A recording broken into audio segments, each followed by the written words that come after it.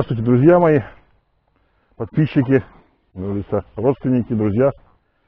Сегодня мы направляемся в необыкновенное место. Хватит ездить по церквям.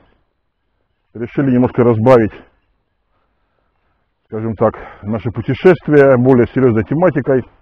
Сегодня я направляюсь со своим очень хорошим товарищем Юрием Михайловичем Пухтиным, экспертом в некоторых вещах, скажем так, Центральный музей, музей ВВС в поселке Монина. Вот мы сейчас приближаемся. И как бы продемонстрируем вам технику авиационную, о чем-то расскажем, что-то покажем. Главное, внимательно смотрите и слушайте. Я надеюсь, будет интересно. Для меня, например, тема новая, скажем так, не, не избитая. Если танки я снимал, как бы и, и пытался изучать, смотреть всю эту танковую технику, бронетанковую, то к самолетам я относился как бы, ну, как бы поверхностно, да? Сегодня у меня будет возможность все это посмотреть. Ну, соответственно, у вас тоже. Ну все, как говорится, идем на центральный вход.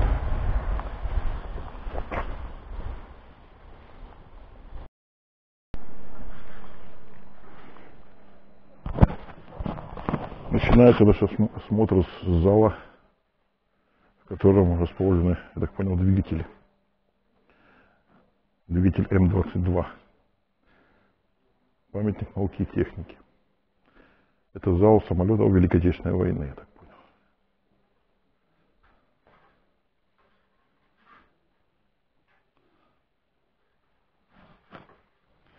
Знаменитый И-16.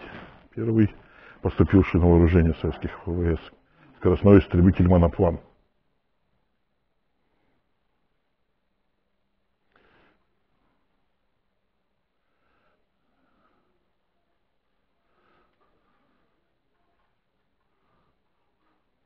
Обратите внимание, вот так вот был расположен пулемет в крыле. Я так понял, пулемета по два в каждом крыле по пулемету.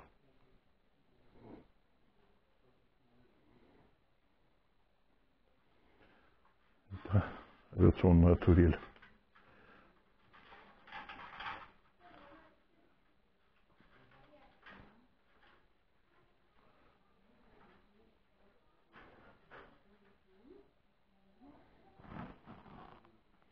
Здесь сидел пилот, не пилот, стрелок вернее кресле и, вращаясь, отстреливался. Пулеметик маленький такой.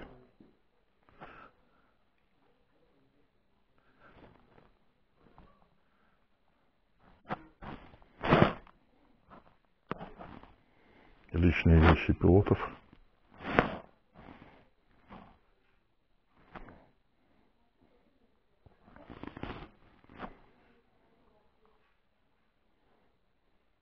Вот представлена целая линия двигателей авиационных.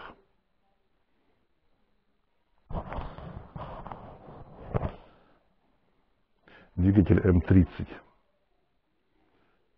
Да, это устанавливается на самолетах ТБ, на самолетах ТБ-3, ТБ-7. Прототип двигателя, который стал на танке Т-64.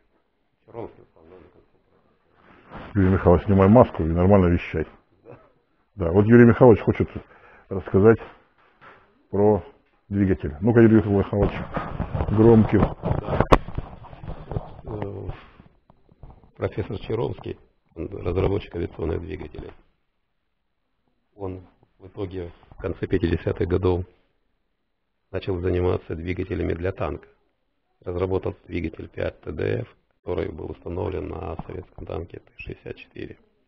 То есть за основу был взят прототип авиационного двигателя, а основой этого двигателя был двигатель еще используемый на немецком самолете Юнкерс, насколько это было известно. В итоге стал авиационный двигатель, стал танковым двигателем.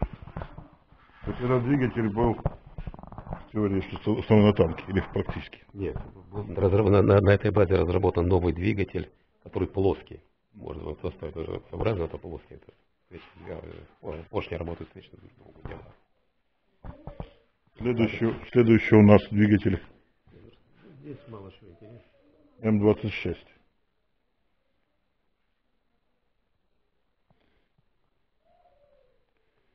Двигатель М23.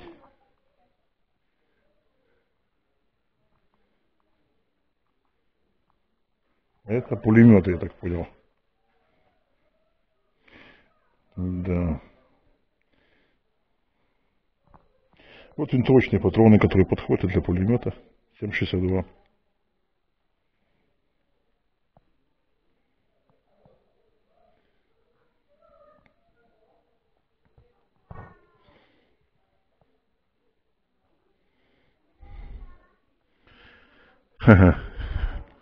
Вот вашему вниманию летательный аппарат. Учебный самолет. Конструктор и летчик Андрей Фарман, Франция. Посмотрите, ну реально этажерка.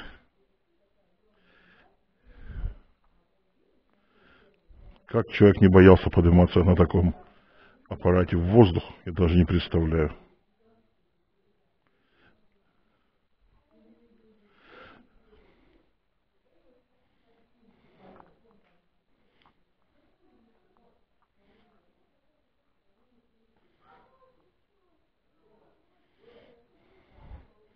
Вот, кстати, интересные образцы оружия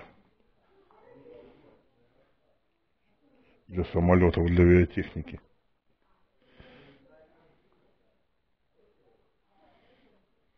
Тех времен, как бы. Но я так понял, что такие пулеметы устанавливались не только в самолетах, но и в танках, потому что я наблюдал, допустим, в английских танках подобные пулеметы с дисками.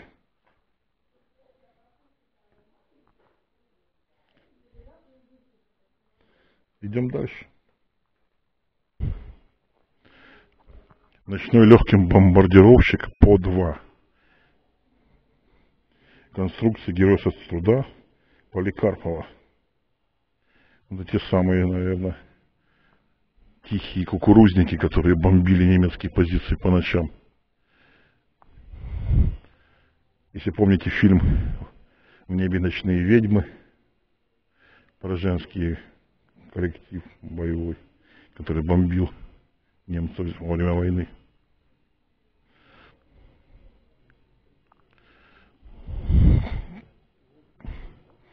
Самолет-разведчик.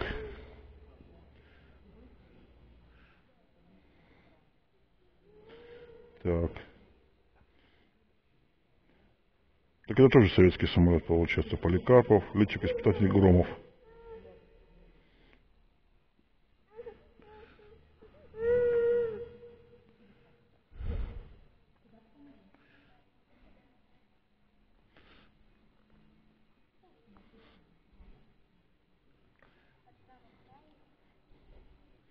и 15 БИС истребитель.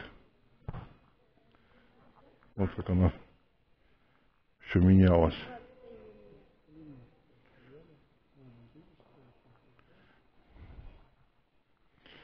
Тоже конструкция Поликарпова, модификация самолета. Летчик-испытатель Чкалов, кстати. Знаменитый летчик-испытатель Валерий Чкалов. Кто не знает, очень советую посмотреть кино. Старое про него есть. Человек, пересек, прилетевший в Америку через Северный полюс. Истребитель И-16.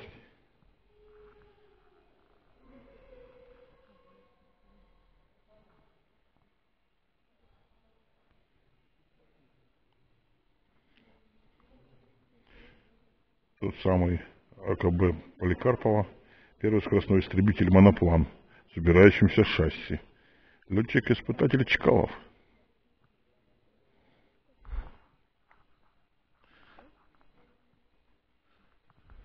О, какая штучка. Да, это МИГ. Это МИГ, я, я его узнал. Замечательный самолет времен войны. Фронтовой истребитель. Создан ВКБ под руководством Микояна и Гуревича, летчик-испытатель Екатов.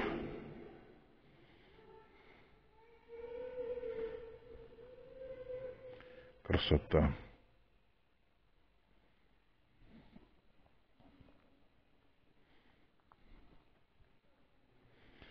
Так, подходим к следующему. ЛА-7. Ну, ЛА-7 это уже после МИГов, по-моему, были, да? Уже более современный. Хотя МИГ мне нравится очень.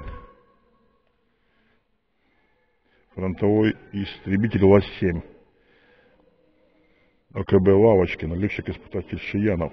На этом самолете с бортовым номером 27, трижды Герой Советского Союза Кожедуб, лично сбил 17 самолетов противника. Ребята, это тот самый самолет, на котором летал Кожедуб.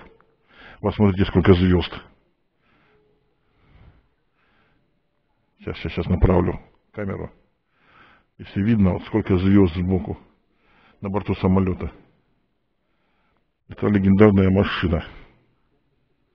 Просто легендарная машина. Это тот самый самолет. Прямо мороз по коже.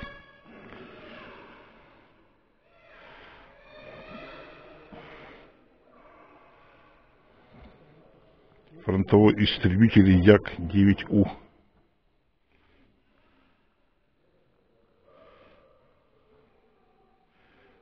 АКБ Яковлева. Летчик испытатель, испытатель Федоровья.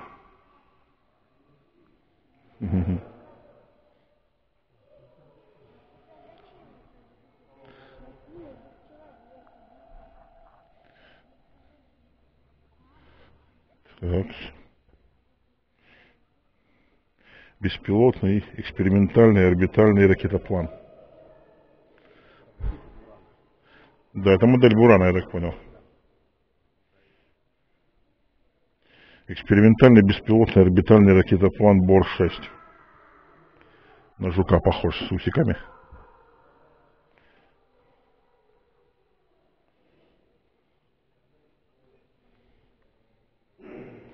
Ой, какая вещь. Бронированный штурмовик Ил-2. Ил-2.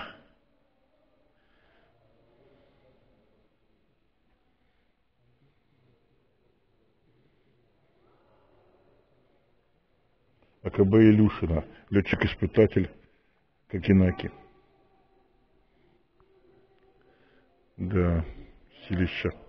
Посмотрите, какое вооружение вот представлено снизу, да? Калибр боеприпасов. Какой большой, реально пушка это авиационная стреляла. И, соответственно, стрелковое вооружение. Вот лежит под ним пулеметы и пушки. Ну и ракеты. Ракетно-бомбовое вооружение.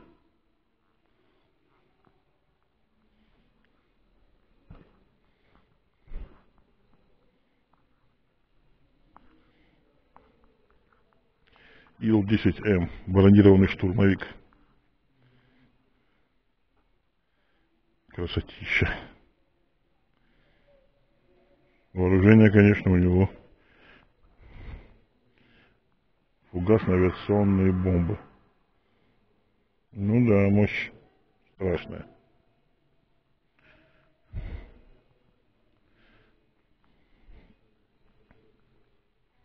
Ну, все, зал закончили. Мы продолжаем осмотр. И вашему вниманию дальний тяжелый бомбардировщик Ту-4. Ну, конечно, сразу чувствуется мощь, сразу это где-то тебе не истребитель.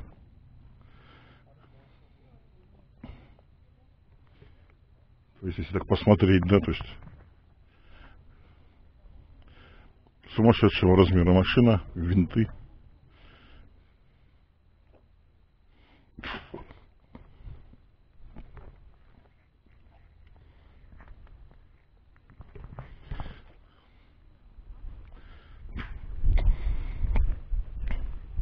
С другой стороны от нас какой-то просто монстр. Не то вертолет, не то самолет. Вертолет. Тяжелый транспортный вертолет. В-12. Вы посмотрите. То есть центральная кабина. Слева, справа на крыльях расположены винты. Я такого в принципе не видал. Честно говоря, ни по телевизору, ни в кино. В-12 либо Ми-12. Двигатель ГДТ Д-25Ф. Экипаж 6 человек. Взлетная масса 102 тонны. Дальность полета 440 километров. Потолок 3500. Ну, вообще, зверь.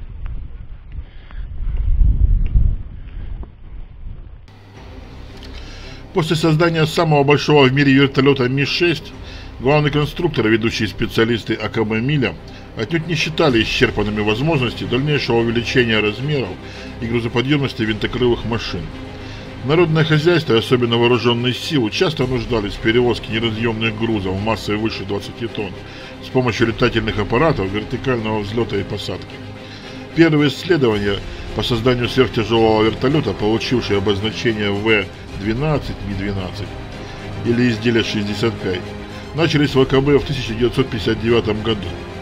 Спустя два года председатель Госкомитета по авиационной технике Дементьев официально утвердил заводу задание на доработку вертолета грузоподъемностью 20-25 тонн.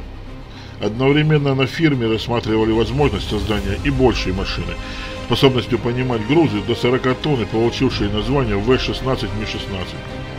В те же годы проектирование подобных вертолетов велось на крупнейших американских фирмах, но там дальше этапа эскизного проекта дело не пошло.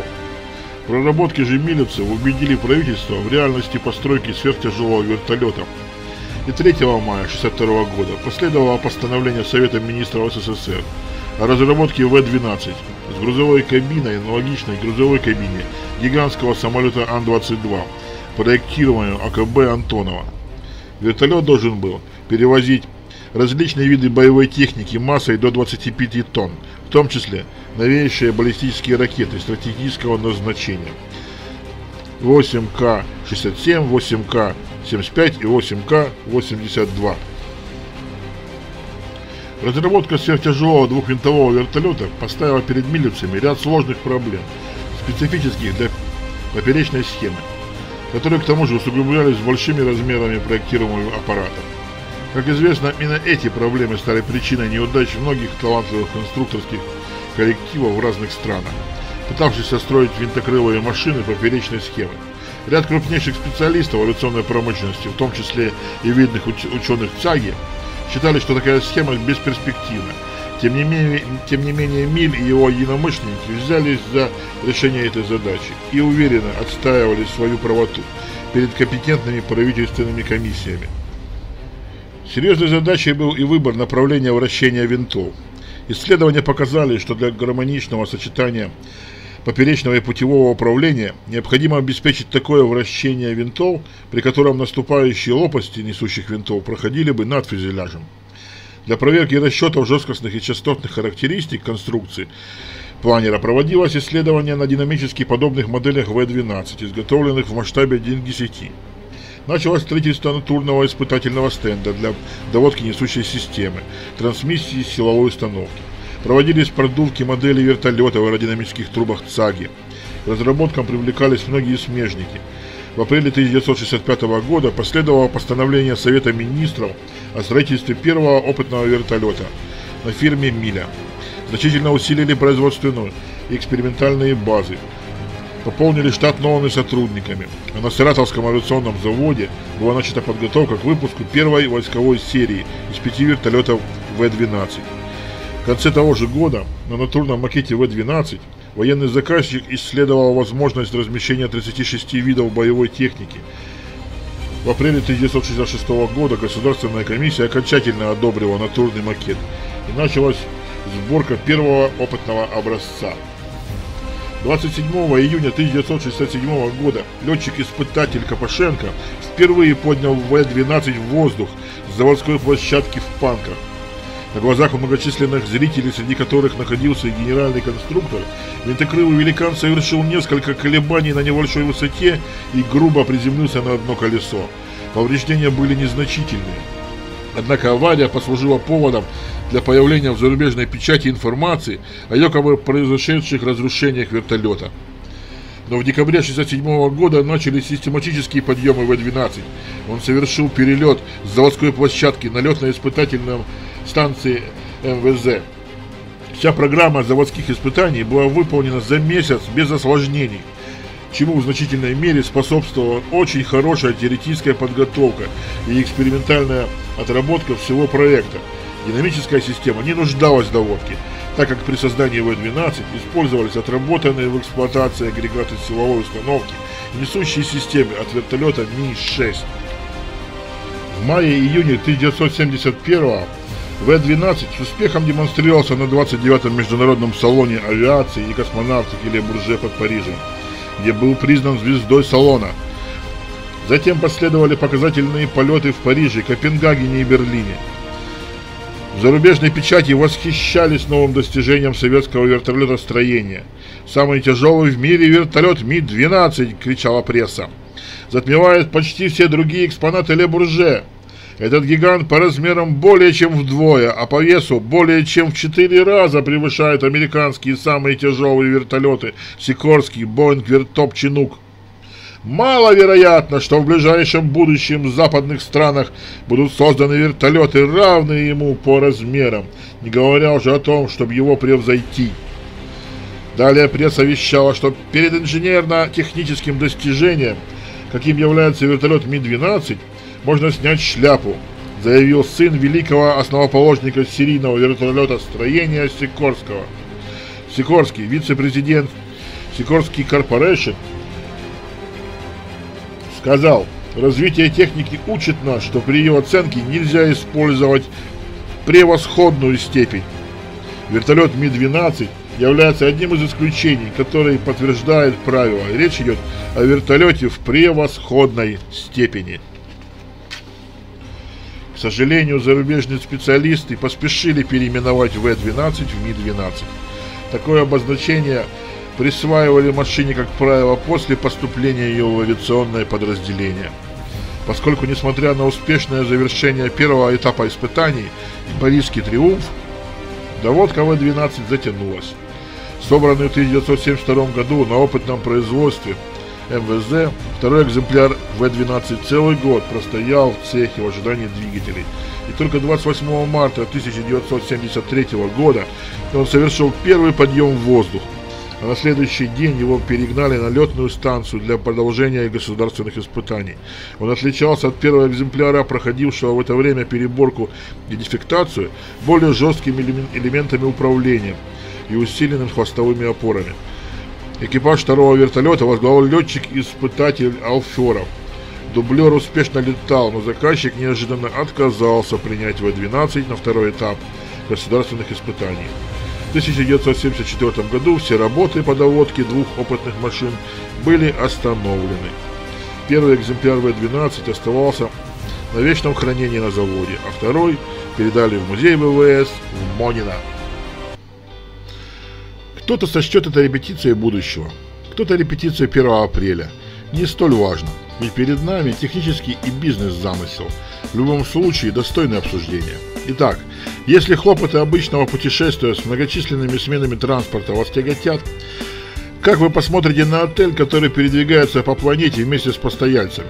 Нет, речь не о банальном круизном теплоходе, а о первой в мире летающей гостинице. Забудьте нервотрепку в аэропортах и бронирование номеров по ходу вашего маршрута. Посмейтесь над жесткими ограничениями на багаж, который вы можете взять с собой в самолет. Просто посмотрите на мир из иллюминатора своего номера люкс. Примерно так рекламирует новацию гигантский отель-вертолет. Можно сказать, вертотель. Американская компания Хотеликоптер. И разумеется, сама по себе идея отеля в небе не нова. Только раньше мечтатели в своих фантазиях помещали такие гостиницы на борт крупных дирижаблей. Увы, даже картинок эти проекты пока... Дальше картинок по эти проекты пока не пошли. Путешествие на борту роскошного авиалайнера может не слишком отличаться по удобству от проживания в дорогом отеле, включая полноценный сон, постели и кучу сопутствующего сервиса. Но по прибытию в аэропорт номера такого лев Левиафана все равно нужно покидать. А прелесть замысла хеликоптера заключается именно в том, что путешественники несколько дней и ночей спят, едят и отдыхают на одном и том же вертолете, по мере того, как последний перелетает с одного курорта на другой. Все, что требуется гостям хеликоптер, заказать такси от аэропорта до пляжа и обратно. Для состоятельных путешественников, на которых нацелен вертотель, сущий пустяк.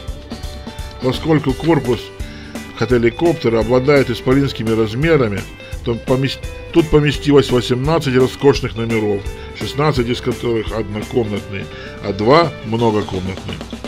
Все снабжены комфортабельными санузлами и огромными двухспальными кроватями. Мини-бары, кофемашины, DVD-проигрыватели и приставки дополняют оснащение номеров. А еще тут есть доступ в интернет. Все номера обладают приличной шумоизоляцией, дабы приглушить свистящий звук маршевых турбореактивных моторов и вертолетных винтов. Отель же в целом компания с несколькими с некоторым оптимизмом именует пятизвездочным, хотя сравнивать роскошные иноземные отели с их летающим собратом попросту некорректно. И все же спа, массажный салон, джакузи и сухая сауна, блэк-джек и настольный теннис к услугам постояльцев хеликоптера, уверяет компания. Но как же все это добро держится в воздухе? Посмотрите на иллюстрации – вам этот аппарат ничего не напоминает?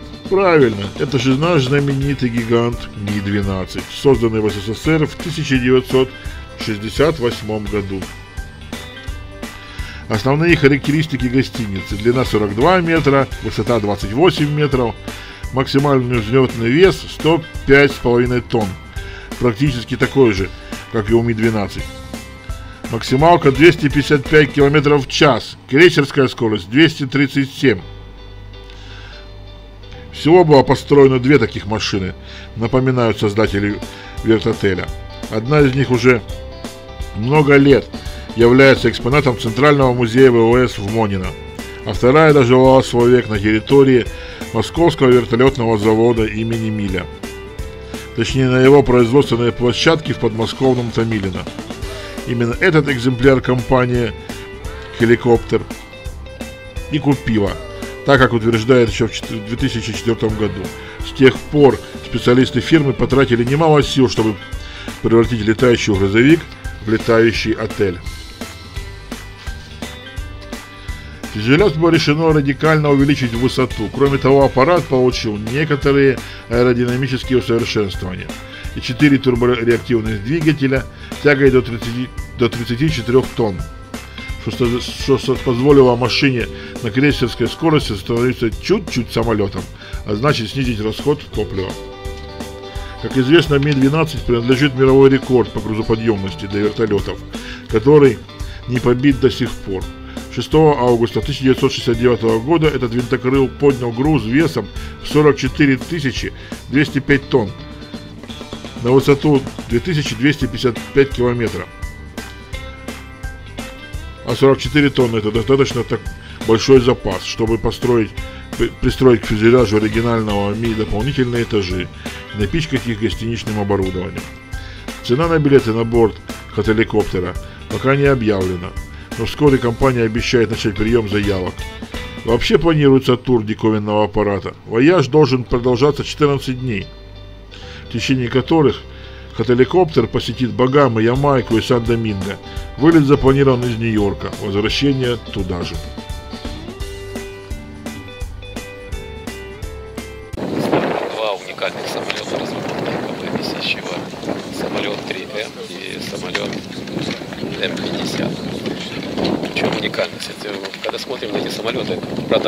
3М подойти невозможно, там, к сожалению, экспозиция закрыта, но грандиозность этого самолета поражает разработка, год разработки, 956 год. В те времена уже создавались такие уникальные самолеты.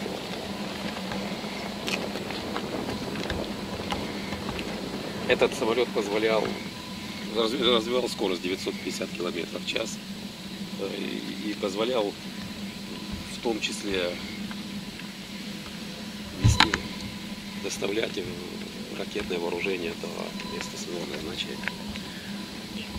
Этот самолет, он был поставлен на вооружение и использовался в армии до середины 80-х годов. То есть это была большая партия выпущенных этих самолетов. Дело в том, что к тому же он ну, неожиданно нашли ему другое применение. Когда был изготовлен Буран, наш ракетоплан, для него специально разрабатывался самолет-носитель Мрия, который могла перевозить его. Но дело в том, что Мрию не успели вовремя изготовить.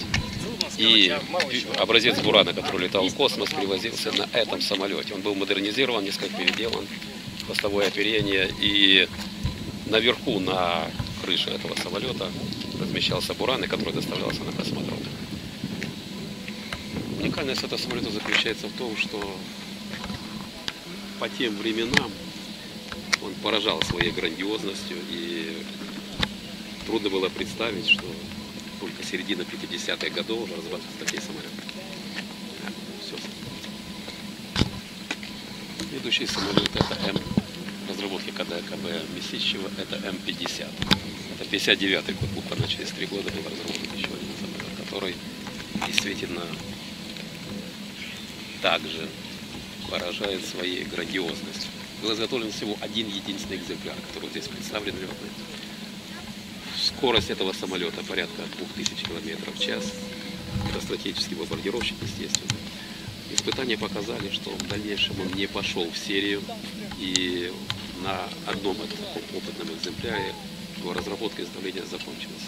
Но обратно поражает то, что только что мы смотрели самолеты разработки Туполева примерно те, в те же времена.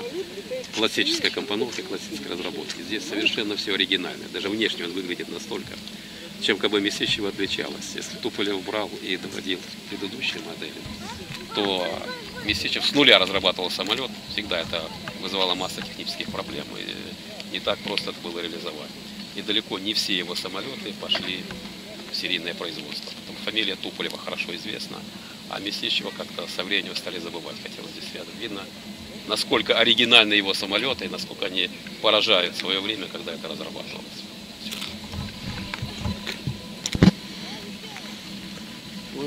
Сейчас мы приближаемся к оригинальной модели, эксклюзив в единственном экземпляре изготовлены. Да, трагичная судьба этого самолета. Да, корпус полностью из титана. Обратите внимание. У него есть несколько моментов, которые отличают его от, от других всех самолетов разработки до него и после него. Это самолет Т-4, назывался Сотка, вот 101, это первый и единственный экземпляр этого самолета. Разработан в 1971 году КБ Сухого. Был конкурс на стратегический бомбардировщик. Они разработали, изготовили первый образец, начали испытания. Чем его отличие? Первое, скорость не бывала одновременно. 3200 км в час. Это для 1971 года это действительно уникальная скорость. Он мог нести полный комплект э, ядерного вооружения, подниматься на высоту до 20 километров, недосягаемый для истребителей перехватчиков того времени. Корпус у него полностью титановый сварной, потому что на тех скоростях, которые летал, никакой сплав алюминия не мог выдерживать это. В чем еще одна оригинальная особенность? Впереди виден нос корабля. Когда самолет поднимался на заданную высоту, выходил на крейсерскую скорость, нос поднимался вверх и закрывал полностью обзор экипажу. Экипаж мог вести самолет только по приборам. На крейсерской скорости на высоте 20 тысяч метров он обеспечен. Этот самолет был изготовлен в единственном экземпляре начал проходить испытания. Он совершил порядка 10 полетов. Все полеты были успешны никаких претензий не было. И, но на максимальную скорость не удалось проверить, потому что к тому времени еще не были доработаны двигатели. Неожиданно, через несколько лет, работы по этому самолету были прекращены. Почему прекращены, это остается тайной до сих пор. По крайней мере, есть один только документ постановления ЦК КПСС и Совмина СССР 1973 -го года, в котором всего две строчки.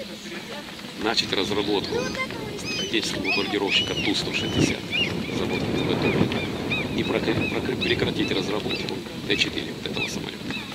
Почему это было, никто так и не объяснил. Видимо, связано с тем, что все-таки была конкуренция между главными конструкторами, учитывая, что Туполь пользовался очень серьезным влиянием, популярностью верхах управления государством. Есть, если было договорено начать разработку Ту-160, это белый лепить, который до сих пор стоит на вооружении, уникальный сверхзвуковой бомбардировщик, и прекратить конкурсную разработку вот этого самолета Т-4 КБ Сухого. Поэтому, к сожалению, те идеи, по, по, все разработки по КБ Сухого были переданы КБ Туполева, но скорость, которая была 64. Это легко даже для АТС уже э, Ту-160 недостижим.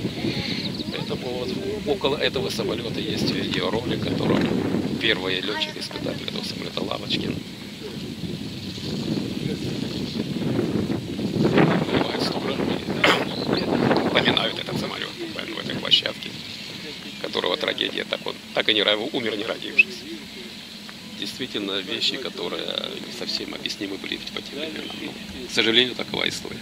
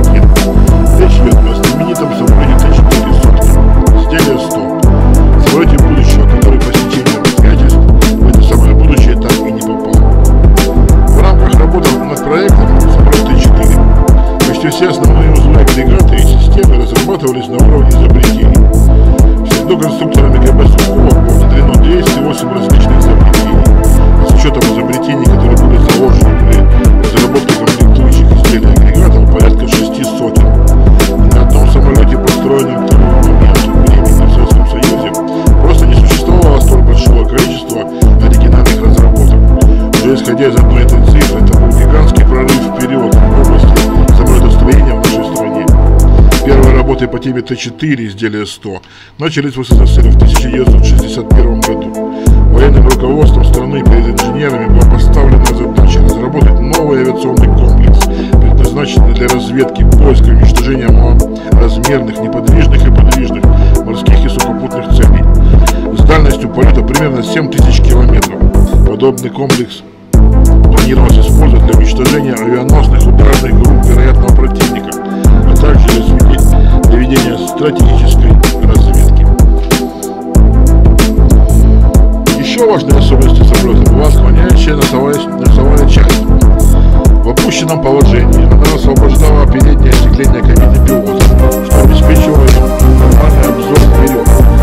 Это существенно облегчало процесс управления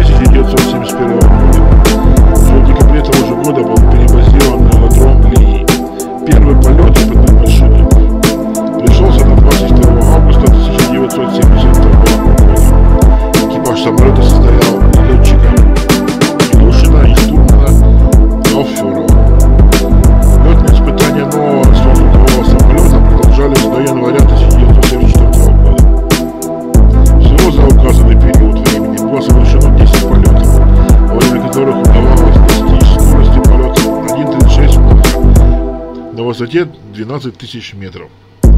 Всего в период с 1966 по 1974 год на Тушинском машиностроительном заводе построено 4 планера самолета Т-4. Один для проведения статических изделий 100С и три для проведения летных испытаний изделий 101.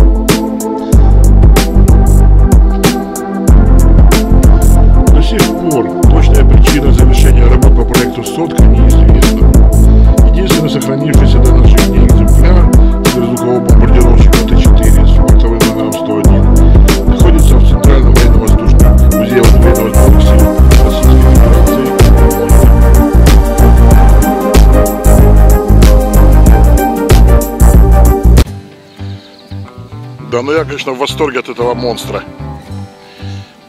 Это просто что-то. Это и не самолет, и не вертолет, это просто летательный аппарат.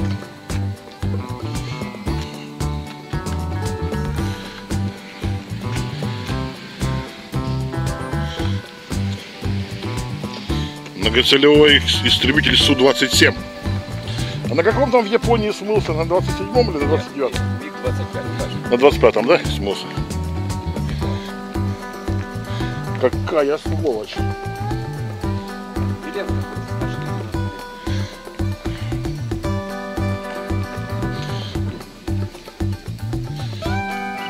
Т-6-1. Ну что, тоже такой серьезный аппарат.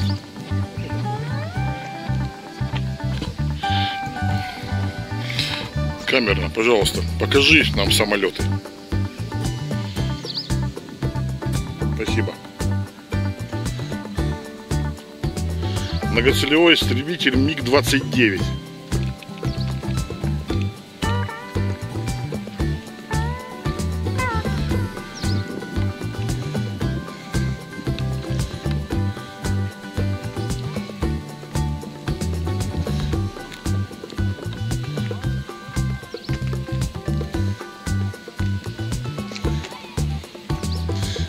Кстати, это не вот этот самолет, который мы хотели показать, да? Вот- Да, да, вот его хорошо видно.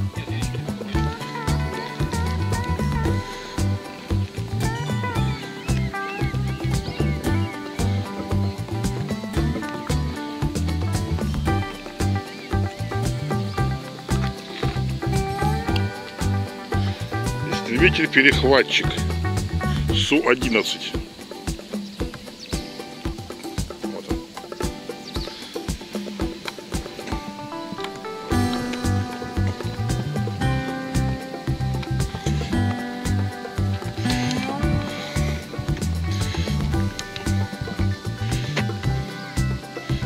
Су-9.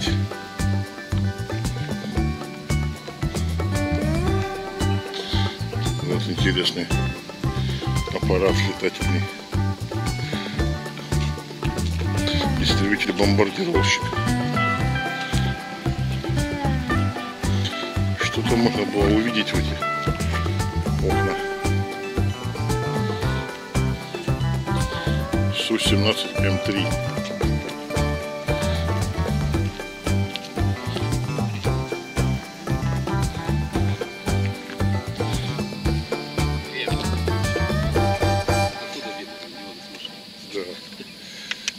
Вот вашему вниманию бомбардировщик как 3М, да?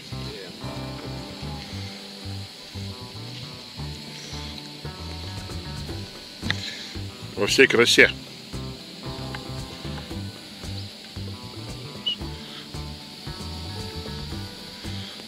Да, огромная, огромный аппарат, конечно, летательный. Вот этот. Рядом здесь стратегический бомбардировщик Ту-95, который до сегодняшнего дня стоит на вооружении российской армии. Самолет разработан дальние еще в 70-е годы. Это турбовинтовой самолет. Интересна судьба двигателя. Вот этот двигатель, который стоит на этом самолете, они до сих пор самые мощные в мире. Разработаны они еще в начале 50-х 60-х годов немецкими, первый прототип этого двигателя, немецкими авиационных двигателей фирмы Юнкерс. Они заложили идеи, потом это после их возвращения в Германию советские конструкторы довели эти двигатели. Вот сегодня стоят, используются уже сколько десятилетий самолет на вооружении, по крайней мере, представляет грозу для потенциального противника. Ну, в американской терминологии это самолет медведь. Мощный, грозный, звук двигателей настолько потрясает, что стоять рядом практически невозможно. Так самое интересное, это же это получается стратегический бомбардировщик, да? Это эта машина делает облет э, рубежей. Да, именно вот это сейчас на вооружении два стратегических бомбардировщика. Ту-95, Ту-160, ну иногда еще М-22М. Ну, их не два, их, наверное, больше. а Нет, в имеется в смысле, две модели. да? Да, Две две модели. модели. Так что а то зрители испугаются, что их всего два, один сломался, второй потерялся, и все, да? Их очень много. И, Да, да, да. То есть именно вот эти бомбардировщики стратегически делают облеты рубежей нашей Родины. В том числе летают, Носят ядерное Берега. оружие. да, летают к берегам Америки спокойненько. Да, летают да, да. Ледовитый океан. Я так понимаю, да, вот он уходит от американских самолетов, как от стоячих. Нет, это Ту, это Ту- Ту-160. Ту-160, да? Это, это сверхзвуковой. Это скорость где-то порядка тысячи километров в час. Самолет разработки уже очень, очень давно. Их очень много было разрезано, осталось на Украине по требованию американцев и порезано, Ну да, Украина как бы, да. В том числе, по-моему, всем Хорошие, добрые американцы дали деньги на то, чтобы порезать стратегическую авиа- авиацию. Даже дали специальную установку, которая рубила эти самолеты. Так что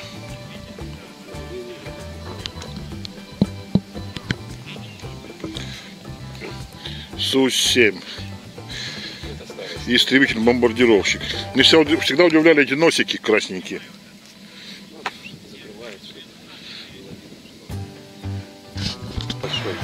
Ну, Вертолет Нашему вниманию, да, самый большой в мире вертолет. Ми-26. Да. Поднимает 20 тонн груза на подвеске.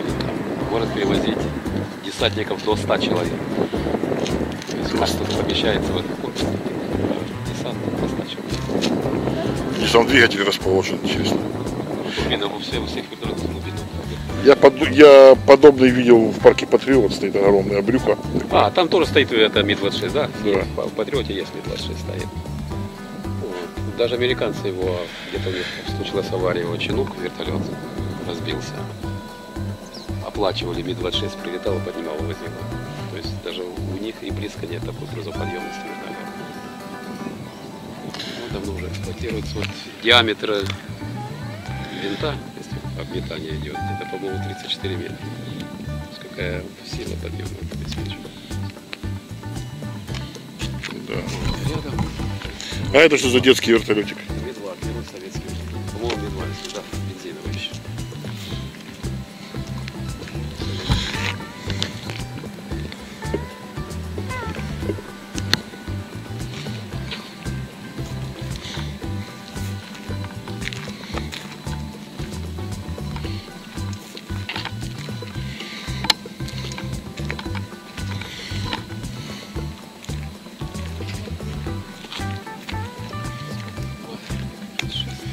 Вот Аэрофлот, он, пожалуйста, тоже такой же стоит маленький. Было Медвар, Ми-4.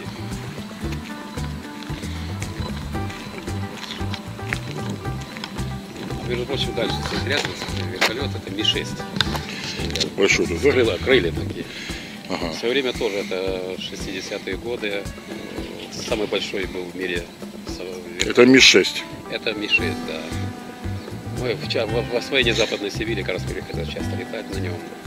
Именно благодаря этому вертолету вот, э, нефтепроводы, газопроводы строили. Ну да, это уже похоже на вертолет. А вот маленький, это как будто бы для детского садика сделана имитация. да, Начиналось же с этого. Всё, что Большое рождается из малого. Позакрывали все окошки, чтобы никто внутрь не заглядывал. Я понимаю, остался только борт. На базе Ми-6, что ли, да, пожалуй. А вот единственный вертолет Камовский, они только применяются соосные. Ну, этот получше Ми-6, да? Ми-6 АЯ. Во- Воздушный пункт управления. Ну, красавчик, красавчик. Да, вот Ми-2. Первый советский. Ми-2. Красавчик. Че, хороший вертолетик.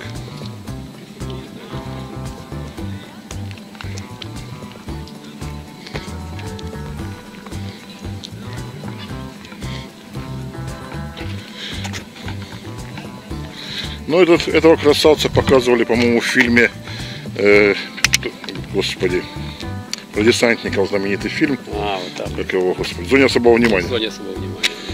Да. Пришлось в мне пришлось полетать на этом вертолетике. Вот единственный камовский, КБ Камов вертолет, соосный винт. Если у всех вертолетов задний большой винт, чтобы в момент самолета А. Здесь соосный. Применяется только в военно-морском флоте. Все-таки, сожалению, надежность соосного, ведь как наш сложный механизм обеспечить. Ну, понятное дело, что чем проще, тем надежнее. Да, Только К сложность. сожалению, они развиваются. Ведущий летчик-испытатель этого вертолета, генерал уже испытании разбился. Что у него проблема? Схлестывание винтов было. Дробнее где-то что-то по механике случается, схлестывание винтов. Понятно. В военно-морском флоте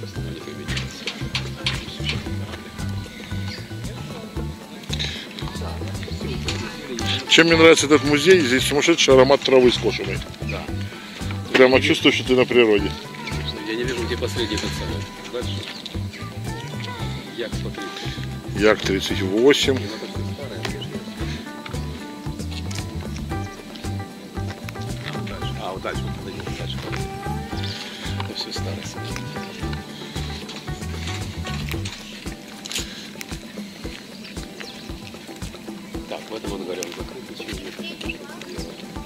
Голубеньком открыт.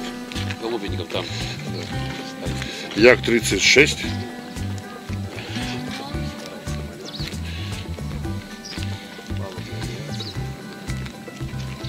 Фронтовой бомбардировщик Як-28.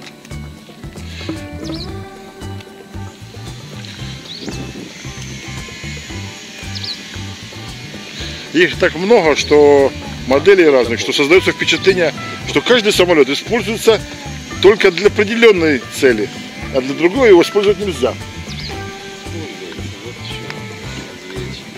Скоростной разведчик Як-27Р. Промчался и все разведал. Никто не заметил, что это было, кто-то пролетел, а он уже все разведал.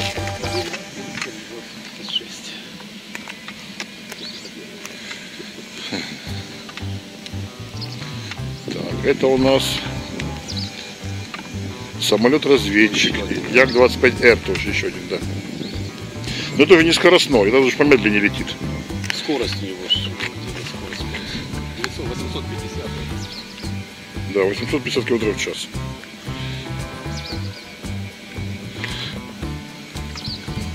Ой, какая прелесть. Вертолеты.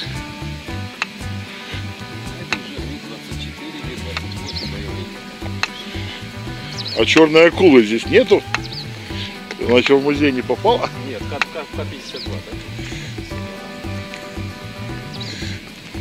Транспортно-боевой вертолет Ми-24В. И Ми-22. Кстати, его тоже показывали в этом самом, в этих фильмах. Да. Уже вот сзади стоит, это, по-моему, Ми-28. вот, Сверху видишь локатор. Над винтом. Да, да, да. Головка радиолокатора. Это у нас Ми-28. Ми-28, да? Жел- желтенький, желтит.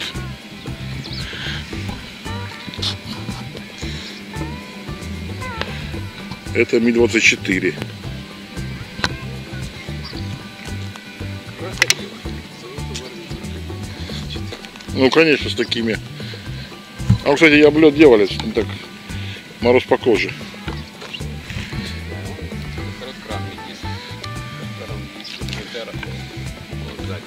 Вижу, вижу.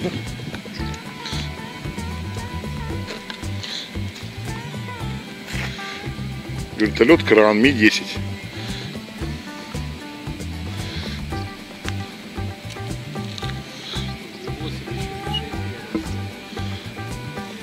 Десантно-транспортный вертолет.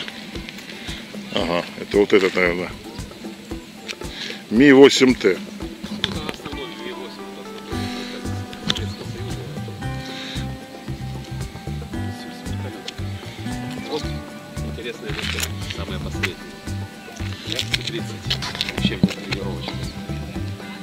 Это свежая разработка. Это вот это? Да, вот это. Маленький зелененький. который может учить летчиков всех видов самолетов, который действительно показал себя очень хорошо. Заказывает российская армия, заказывает для подготовки к рейсу и их не видел, потому что Як-130 учебный. ну, это, Это впереди сидит пилот, сзади сидит инструктор и дает подзатыльники, да? да, и за это подзатыльник. Ну вот это как раз Т-4 сотка. Титановый, да, который? Титановый, да. Это вот титан. Вот на металлолом сдать было, да? Сколько бы денег было. Там. Экономически невыгодно, да? Нет, политически. Или политически невыгодно. Политически казалось, что он был это самое, не выгоден был Туполев. Конкурент задавил. Это в свое время, как Дегтярев чуть не задавил Калашникова, да? Но Да, поимел совесть и пропустил.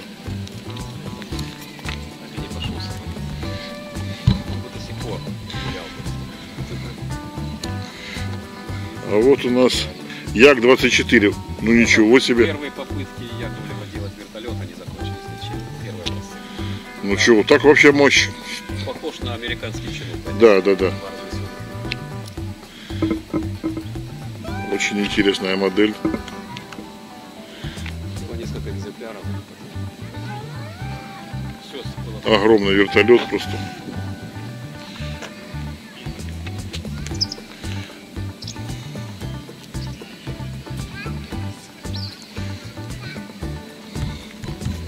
Як-24.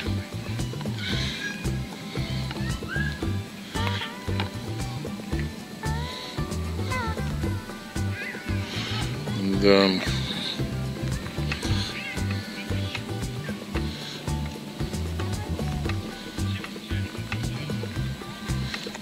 Сто один.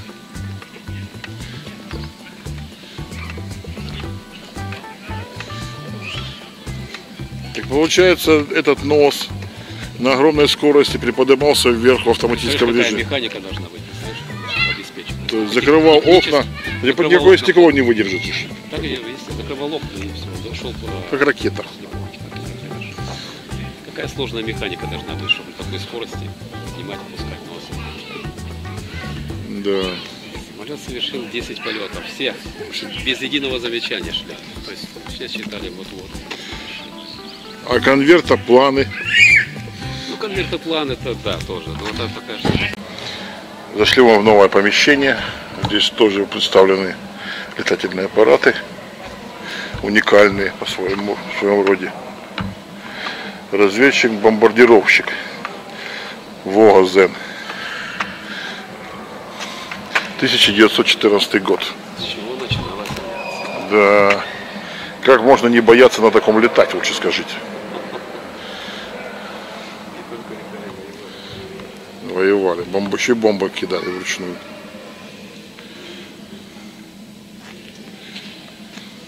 Потолок у нас три с половиной тысячи метров. Так неплохо. И дальность полета. Не, не понял. А, 450 километров.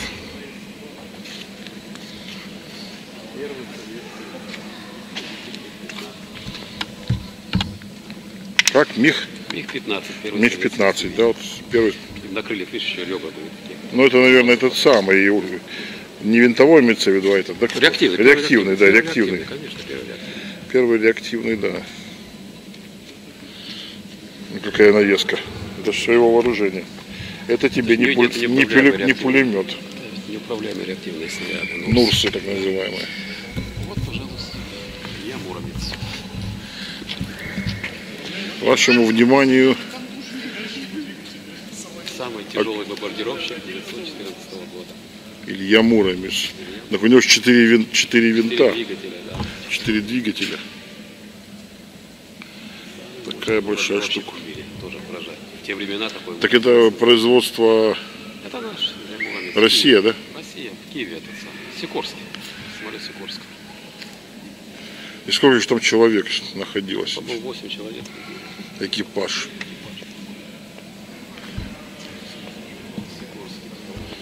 Илья Муромец, тяжелый бомбардировщик.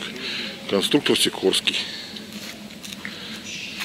Потом первые вертолеты американские все. Потолок от 500 до 400, 4600 метров.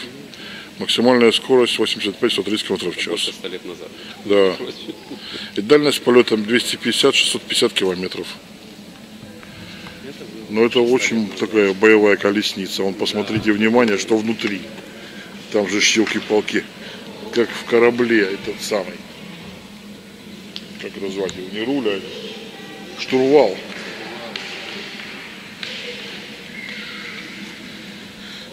Сикорский не согласился с советской властью, эмигрировал в Шай, там развивал аэро. Так вот. К сожалению, Сикорский эмигрировал.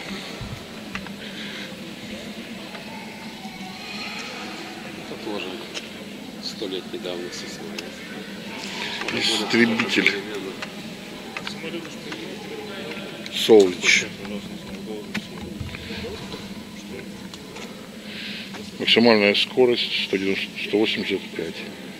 Дальность полета 400 километров. Потолок 6000.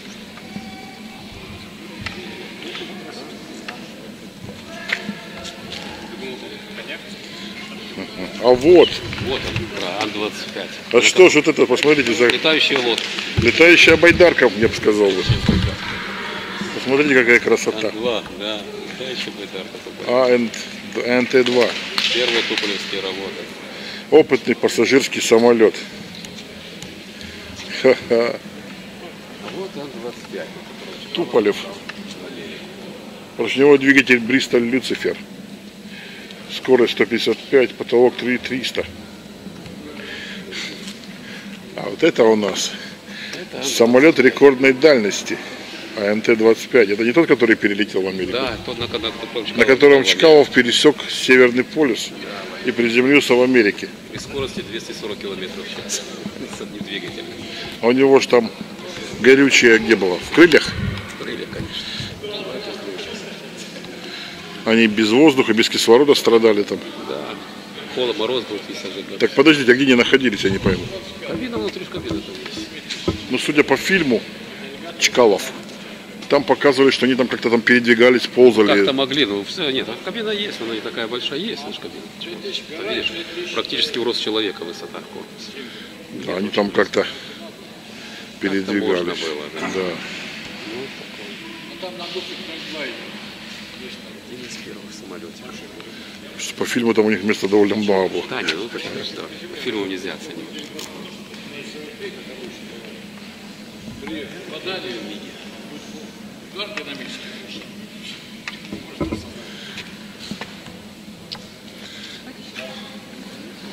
Турболет. Экспериментальный летательный аппарат. Он вообще, он, да, он сразу.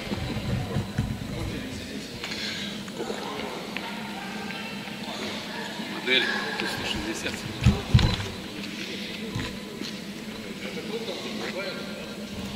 С чего начинались?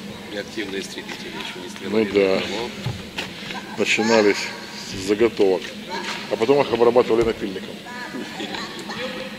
МиГ-9.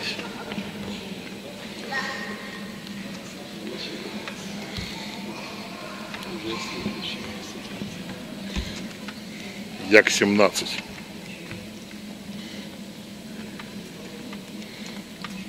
С этого все начиналось.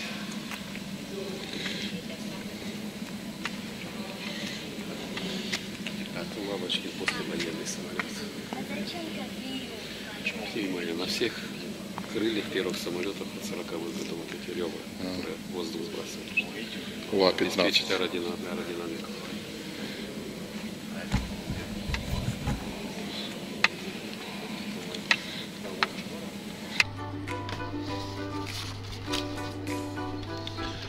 Россия внесла значительный вклад в историю развития мировой авиации. В начале 20 века, когда авиация только развивалась, а самолеты больше походили на летающие швейные машинки, талантливый российский конструктор Илья Иванович Сикорский начал работать над проектом тяжелого многодвигательного самолета, способного поднимать в небо большие грузы и перевозить множество пассажиров. Первой такой разработкой стал проект «Русский Витязь». Сконструировал его Сикорский в 1911 году, а первый прототип, построенный на русско-балтийском вагонном заводе, был готов уже в конце 2012 года. 20-метровая машина была оснащена четырьмя двигателями, каждый из которых обладал мощностью 100 лошадиных сил. Самолет весил 3,4 тонны и был способен поднимать воздух до 600 килограммов полезной нагрузки, три члена экипажа плюс 4 пассажира. Дальность полетов с полной загрузкой составляла 170 километров. Первый полет состоялся 26 мая 2013 года. Сообщения об этом в евро- европейской прессе сошли мистификацией. В то время максимум, что могли другие самолеты, перевозить одного летчика с одним пассажиром, а полезная нагрузка была существенно меньше 500 килограммов. Прототип существовал недолго. 11 сентября 1913 года он был серьезно поврежден на авиационном салоне, сорвавшимся с пролетающего над ним самолета двигателем. Восстанавливать русского «Витязя» Сикорский не стал, так как в то же время был практически готов самолет, развивающего конструкторские решения. Новый самолет получил название Илья Муромец. Постройка, но- постройка новой машины была завершена в октябре 1913 года. Уже в декабре 2013 года, после испытаний на Илье Муромце, произвели показательные полеты и установили несколько рекордов. В частности, рекорд грузоподъемности 1100 кг. Предыдущий был 663 кг. 12 февраля 1914 года в воздух было поднято 16 человек и собака общим весом 1290 килограмм. Пилотировал сам конструктор Сикорский. Можно сказать, что в тот день началась эра пассажирской авиации. Второй тип кон- тип конструкции самолета модель Б была чуть меньше по размерам, но обладал более мощными двигателями. Кроме того, в нем были учтены конструкторские недоработки первой модели. 4 июня 1914 года им был установлен рекорд высоты и продолжительности полета 2000 метров с 10 пассажирами, продолжительность полета 6 часов 53 минуты. Характеристики машины серии Б были были революционными для своего времени. Длина 19 метров, вес пустого самолета 3100 кг, полезная нагрузка 1500 кг. Продолжительность полета 5 часов. Практический потолок 3000 метров. Скорость у тяжелой машины была относительно небольшой – 105 км в час. 1 августа 1914 года началась Первая мировая война. Россия к этому моменту обладала четырьмя самолетами типа Илья Муромец. В сентябре того же года все они были переданы военному ведомству. В первый раз на боевое задание бомбардировщики вылетели 14 февраля 2015 года. Задержка была связана с необходимостью подготовки экипажей. Во время войны начато производство самолетов серии В, наиболее массовой машины типа Илья Муромец. Выпущено 30 единиц. Они были меньше серии Б, но отличались большей скоростью 120 км в час. Экипаж состоял из 4 человек. Некоторые модификации имели два мотора. Осенью 1915 года с этого самолета был произведен опыт бомбометания крупнейшей в мире, на тот момент 410 килограммовой бомбы. До 1918 года было выпущено еще три модели самолета, развивающего возможности конструкции. Всего за время Первой мировой войны в войска поступило 60 самолетов Илья Муромец. Боевые потери составляли три самолета. Сбиты истребителями противника и еще два потеряны в результате зенитного огня. Значительно больше самолетов было потеряно в результате технических неполадок и налетов вражеской авиации на аэродромы базирования. Так было утрачено около 20 машин. После революции эксплуатация машин была продолжена только в 1919 году. У советской России не было летчиков, способных управлять этими монстрами. В 19-20-х года- годах были эпизодические применения самолетов в боевых действиях против Врангеля. В ноябре 1920 года зафиксировано последнее боевое применение самолета. В 1921-1922 годах шесть самолетов Илья Муромец использовали на почтовой линии Москва-Харьков, но машины были сильно изношены и быстро выработали свой ресурс. В 1923 году Илья Муромец в последний раз поднялся в воздух. Потребность в пионере тяжелой авиации отпала, уже эксплуатировались другие, более современные машины. Старичок Илья отправился на заслуженный отдых. Но об этом самолете, открывшем новую эру в коммерческой и военной авиации, заслуженно помнят до сих пор.